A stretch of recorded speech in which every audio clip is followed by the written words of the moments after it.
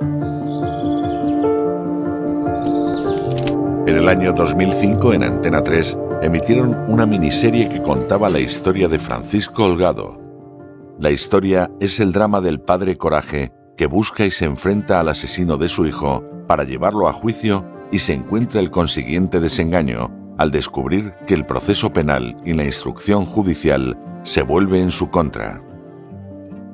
En España hay miles de padres y madres que ven cómo sus hijos con altas capacidades se van apagando poco a poco en diferentes centros educativos sin que el sistema haga nada por ellos. Esto precisamente es lo que nuestro invitado de hoy, Alberto Flaño, observó hace ya algunos años, las carencias en cuanto a atención educativa en algunos centros escolares. A partir de entonces surgió la necesidad de comprender, aprender y compartir el conocimiento adquirido sobre el aprendizaje en niños de altas capacidades con otras familias y educadores, tanto directamente como a través de instituciones.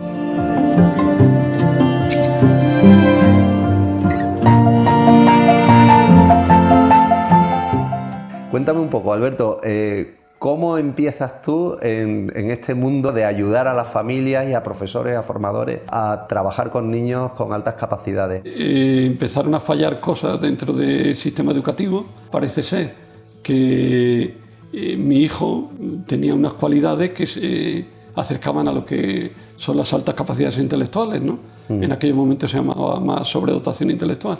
Mm. Bueno, me informé de eso y llevé a mi hijo a que le hiciesen una valoración en ese sentido. Resultó positiva y me fui con mi información al colegio. Yo creía que el colegio ya con esa información pues ya iba a saber qué hacer. Mm. Me encontré que no sabía qué hacer y que teníamos que seguir insistiendo. A partir de entonces, bueno, yo me sigo informando más, me acerco a una asociación que había en Sevilla y sigue existiendo, que se llama 12.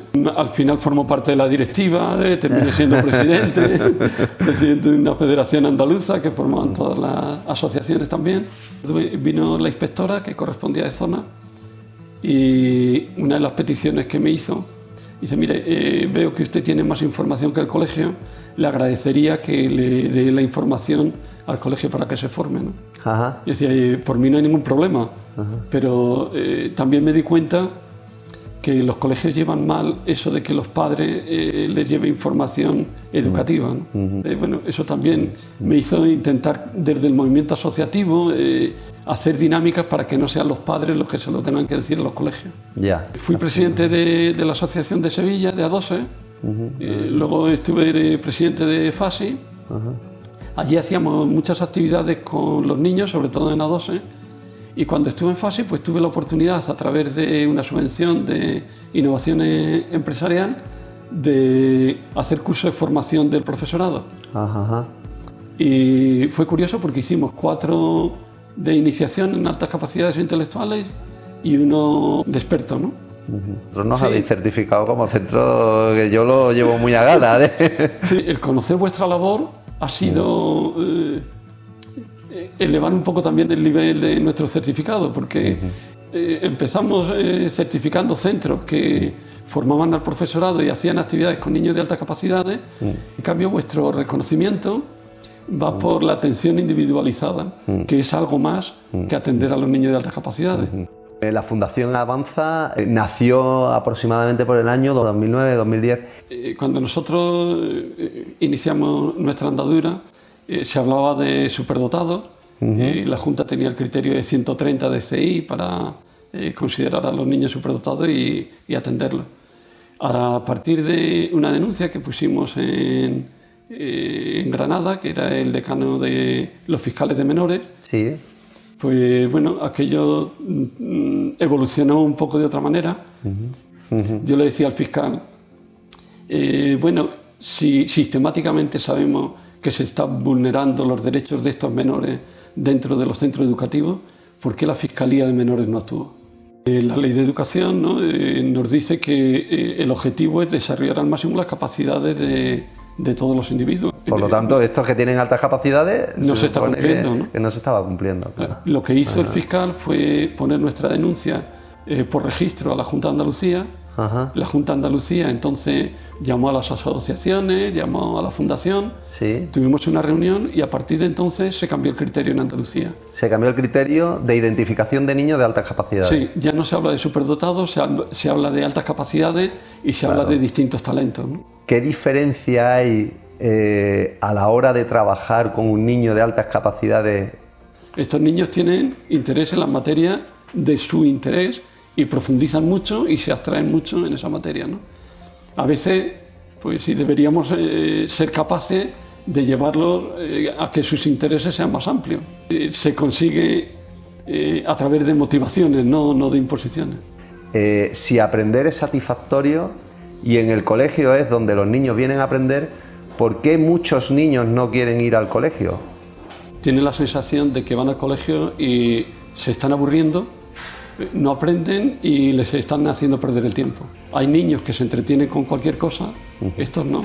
A nosotros en nuestro colegio, en el CBS, no nos gusta utilizar la palabra deberes porque deberes en sí ya lleva una connotación de obligación a hacer y es precisamente de lo que huimos. Creo que eh, el desempeño eh, dentro del hogar por parte de los niños depende mucho de la situación familiar. Y la importancia que pueda tener lo que tú aprendas en tu casa, aparte en el colegio, tiene mucho que ver con la organización pedagógica del centro. Eh, la importancia tiene que estar en el centro, que es un entorno que eh, tú desde tu centro, por ejemplo, sí puedes controlar más, pero no puedes controlar la situación familiar. Cuando uno eh, llega a ser adulto, se da cuenta de que aparte de lo que te enseño por ahí, tienes que hacer un esfuerzo ¿no? Eh, suplementario si quiere llegar a, conseguir cosas. Claro. Yo esto lo veo como eh, el querer subir a una colina. ¿no? si tú subes a la colina por hacerme a mí un favor, eso es un sacrificio.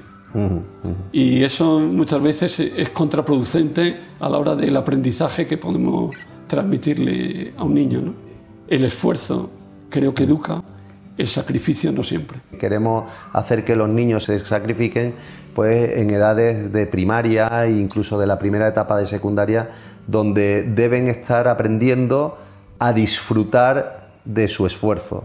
Porque cuando les enseñas a disfrutar de su esfuerzo, luego se hacen imparables. Pienso que el objetivo que tenemos en el Colegio Británico de Sevilla de eh, conseguir que los niños disfruten de su aprendizaje, o disfruten de su esfuerzo, es un objetivo acertado, porque al final, con este objetivo, los niños consiguen grandes logros.